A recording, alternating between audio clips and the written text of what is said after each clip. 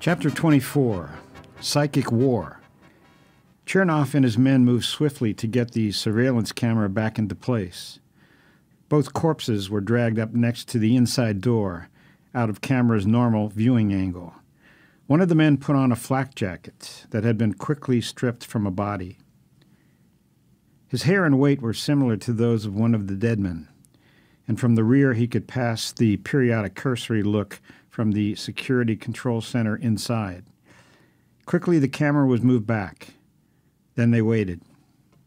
Two minutes seemed an eternity, but it was absolutely essential to protect the identity of their agent on the inside.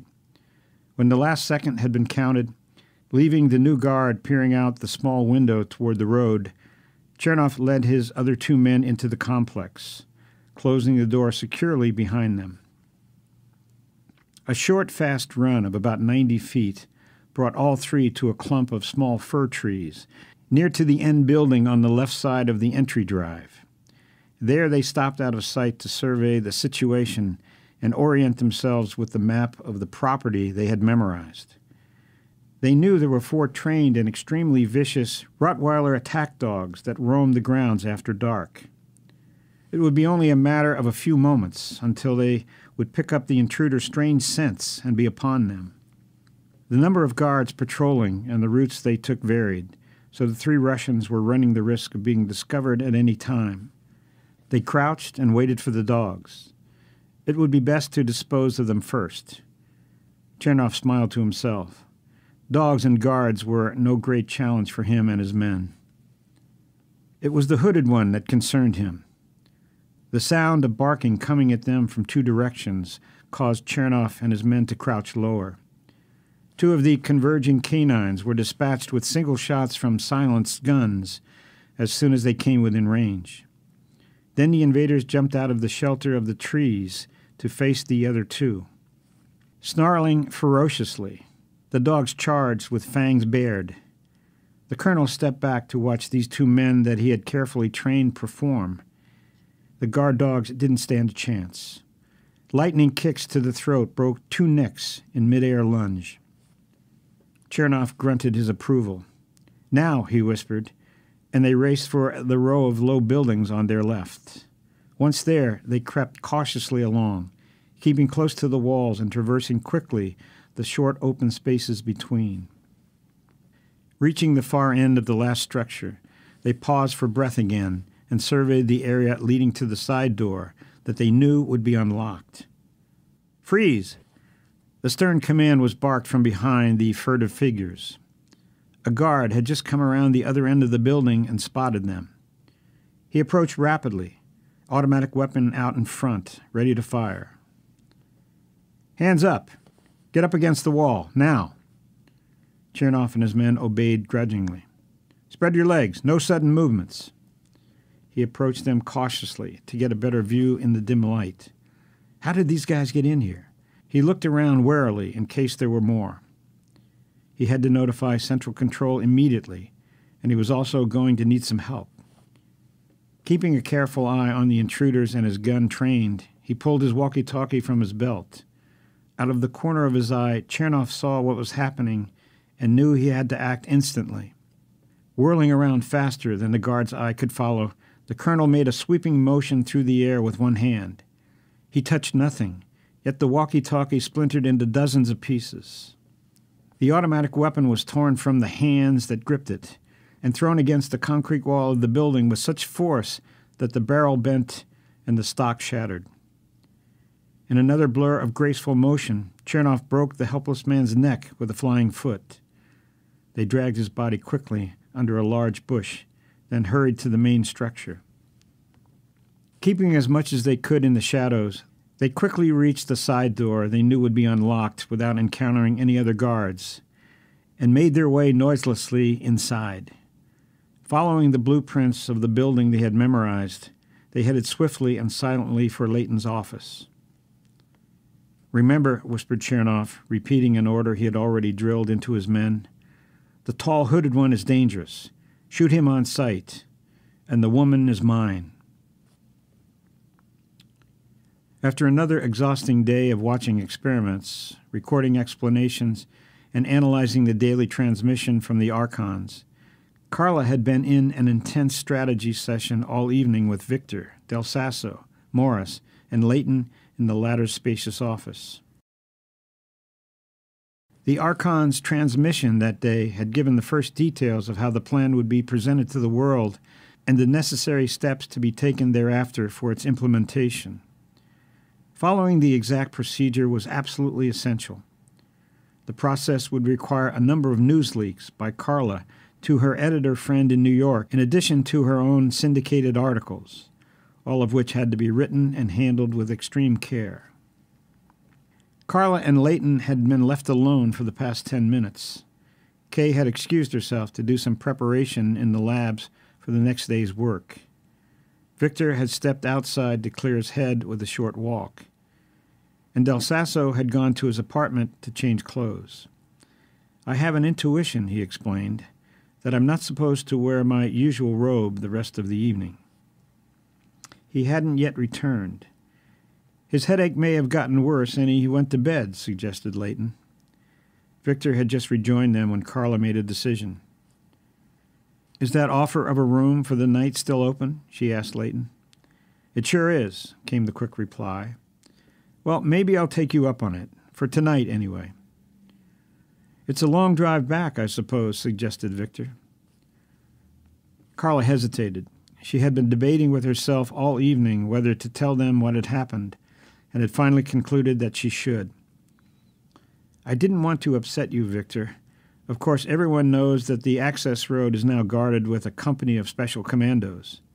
That's ridiculous, retorted Frank impatiently. Who needs those guys? He turned to Victor. Someone thinks they spotted a special Russian team apparently here to assassinate you. Victor suddenly looked frightened. Don't give it another thought, Frank continued. Look, Victor, what happens out there is no concern of ours. Inside this fortress is another world, and nobody's going to break in here, believe me. That's why you're in here. There's something you don't know, Frank, interrupted Carla. When Victor dove into my convertible in Paris and we made our escape, a Russian delegate to the Congress that I only knew as Dr. Alexander Pavlov, a real brute of a man who was chasing Victor, leaped onto my car he was climbing in and would have had us. When I made a fast turn, it broke his grip and threw him through a plate glass window.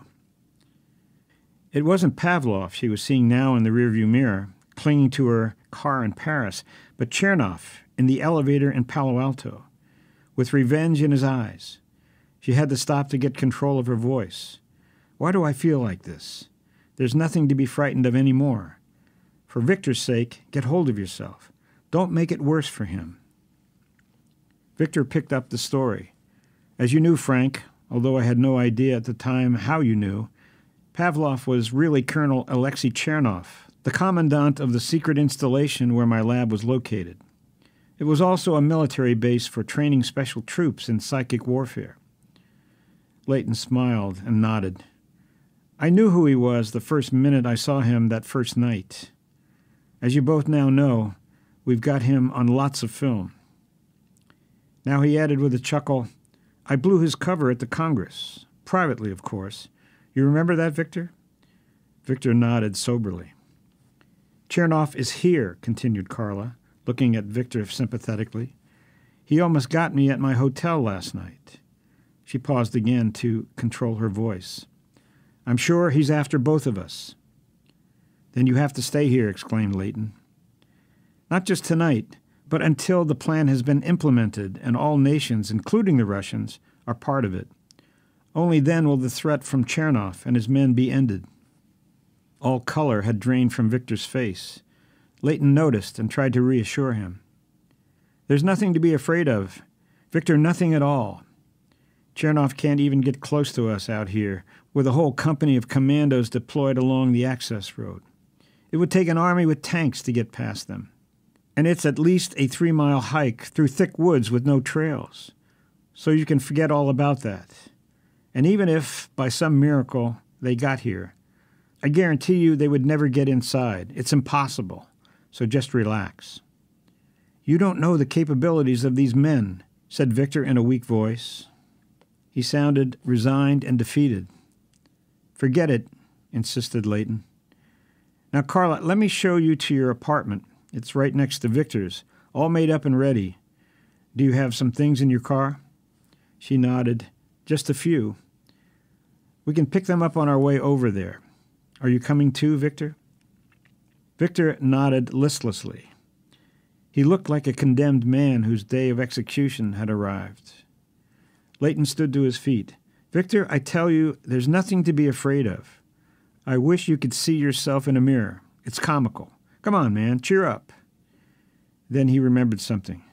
Wait a minute. I almost forgot. Let me call the FBI so that they know you're staying here tonight. Out in the hall and just around the corner from Leighton's office, Del Sasso was being kidded about his attire by one of the CIA guards, a devout Catholic. I almost didn't recognize you. I said to myself, Who let that strange dude in here? You don't look like yourself without that robe, Father. I thought you never took it off. Oh, I do have it laundered once a year, when I take my annual bath. I'm quite civilized. At that moment, Chernov and his two men, moving quickly down the main hall from the side door, stepped into view. The agent saw them at the same time they saw him. He went into an immediate crouch, swinging his automatic weapon quickly from where it was slung over his shoulder. There was no time for him even to aim. A volley of muffled shots from Chernov and his men left the guard dead in a pool of blood. Del Sasso slowly raised his hands over his head. He's a tall one, said Chernov. Use him for a shield. One of his men grabbed the psychic, put a gun to his head, and marched him along in front of them. They arrived at the office door just as Leighton opened it. My God, cried Leighton, and jumped back into the room, trying to close the door. Chernov's shoulder smashed it open and knocked Leighton to the floor unconscious. With one of the Russians standing guard at the door, the colonel and his other men charged into the office, pushing Del Sasso ahead of them. Carla screamed, and Chernov smashed her across the mouth with the back of his hand, knocking her down. From the floor, she watched in semi conscious terror. Pavlov stood over her, enjoying this moment immensely. So we do meet again, Miss Bertelli. You were quite brave in Paris, and that was a brilliant piece of acting on the elevator. This time, there's no escape. Don't harm her, pleaded Victor. Eyes blazing with hatred, Chernov slammed him across the mouth, knocking him to the floor also. I'm taking you with me, Korolev. Back to Moscow. I'd rather kill you right now, but you have some debts to pay to the country you betrayed. The colonel glanced quickly around the large office without finding someone he had expected to be there. Leaning over Victor, he demanded, Where's the hooded one? The hooded one? stammered Victor, pretending not to understand. With one powerful hand, Chernov grabbed Victor by the back of his neck and pulled him to his feet, shoving the barrel of his pistol under Victor's chin. You know who I mean. Where is he? I'm the one you call the hooded one, said Del Sasso, and you are all dead men. He pulled away from the Soviet who had been holding the gun to his head and faced them with a twisted smile on his face that stunned Victor and Carla. It was derisive, contemptuous, and mocking, like the smile of a bully gloating over a cowering victim. Here was a frightening side of Del Sasso that Victor and Carla tried to forget.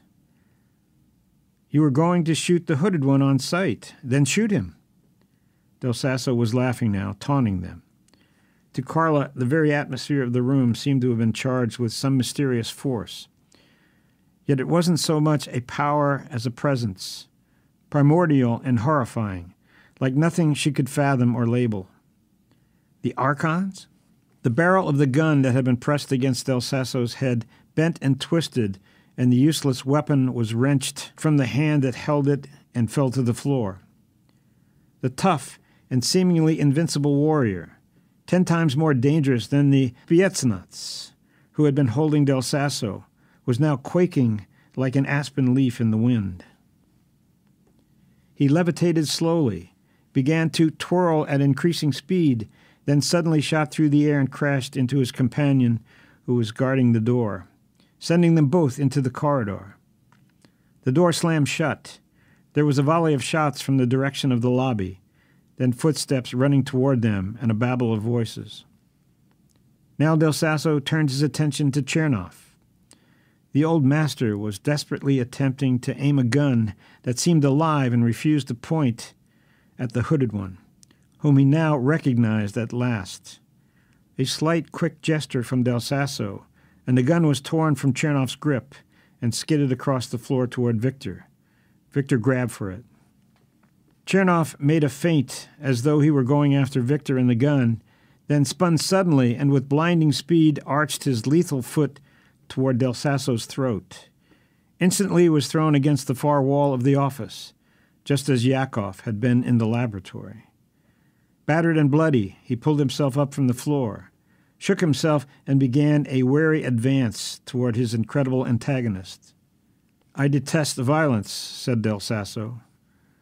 Carla noticed that his voice had taken on a very controlled and almost conciliatory tone. Surrender now, and no more harm will come to you. With a cry of rage, Chernov charged. He had not taken two steps when, to her utter terror, Carla saw the heavy glass that protected the top of Leighton's huge desk abruptly lift into the air. Spinning like a high speed circular saw, it sailed swiftly through Chernov's midsection bisecting his body at the belt line. Smashing into the wall behind him, the glass exploded into a thousand bloody shards. Carla gasped in wordless horror and lost consciousness. When she came to her senses, Carla found herself lying on a sofa in the lobby. Ghastly pale and in shock himself, Victor was leaning over her, dabbing gently at her bleeding mouth with damp paper towels held in trembling hands. Are you okay? asked Victor. She nodded weakly. I can't believe it. I just can't.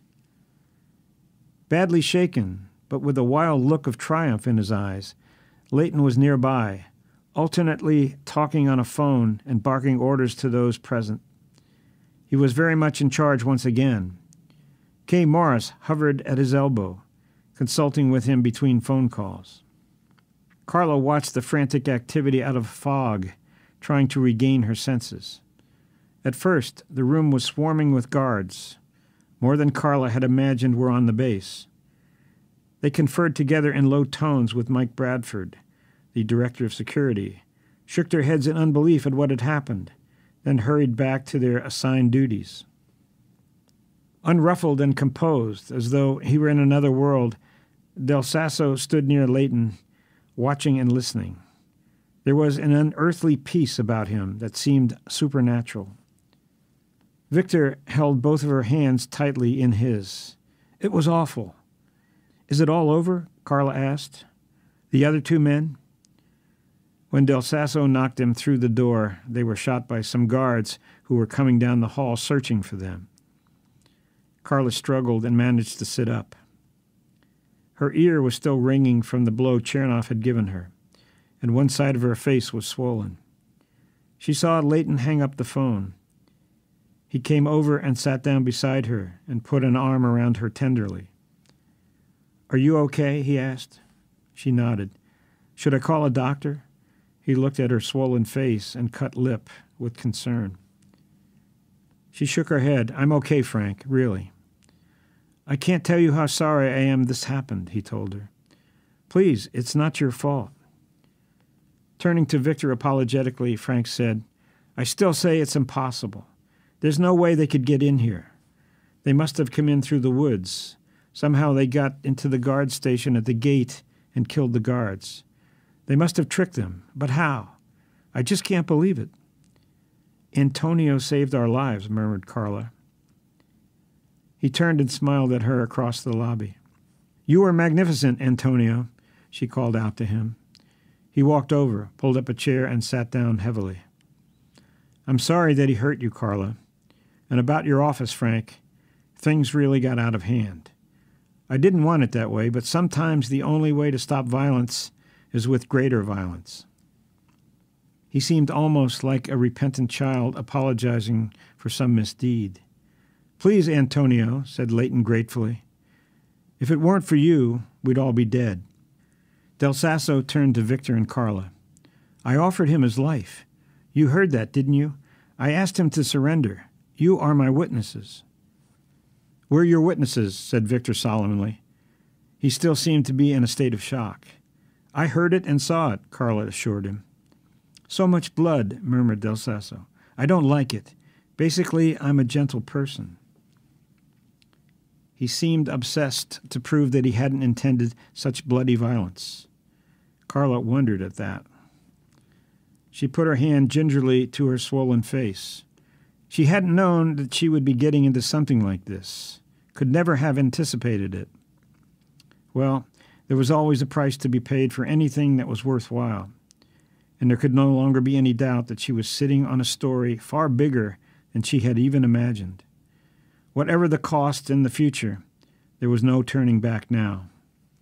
Carla was extremely grateful to Del Sasso for saving her life, but at the same time, there was something terrifying about the power he controlled. Or did it control him in some mysterious way? Was that what he was trying to tell them, and why he was so apologetic? Was Del Sasso, after all, just a pawn of the Archons? It was a frightening question.